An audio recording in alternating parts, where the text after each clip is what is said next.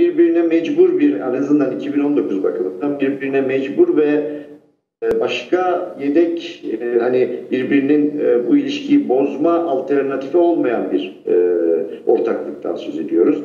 Net olarak ben bunu söylüyorum. Yani bence arada pürüzler işte Manisa meselesini anlattınız medyaya da yansıdı. Ama ben bu tür büyük büyük e, hani önlerine çıkabilecekleri güçlükleri bir seçim satımı haline girdiklerinde açabileceklerini düşünüyorum.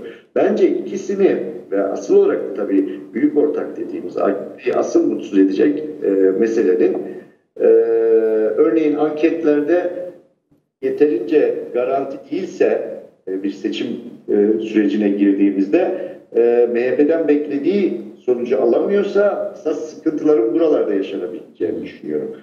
Bir başka yan, yine belki Kemal daha e, detaylı anlatabilir. E, Ben aslında MHP'de şöyle bir yan görünüyor MHP'de. Yani öteden beri şöyle bakılıyor MHP'ye. E, içindeki hani Meral Akşener'in partisi ayrıldı. Parti için muhalefet ayrıldı. Dolayısıyla daha homojen bir MHP yapısı ortaya çıktı diye bakılıyor. Ben e, bunun bu kadar rahat ve e, işlerin tıkırında olabileceğini zannetmiyorum. Ben e, evet o ortaklığı bozucu anlamda değil ama kendi içlerinde biraz önce konuştuğumuz gibi AKP içinde de bir miktar mutsuz seçmen varsa referandumda gördüğümüz gibi MHP içinde de gidenlere rağmen hala örneğin şöyle düşünceler olacağını ben e, tahmin ediyorum. Bunun hani oya ne kadar yansıyacak göreceğiz.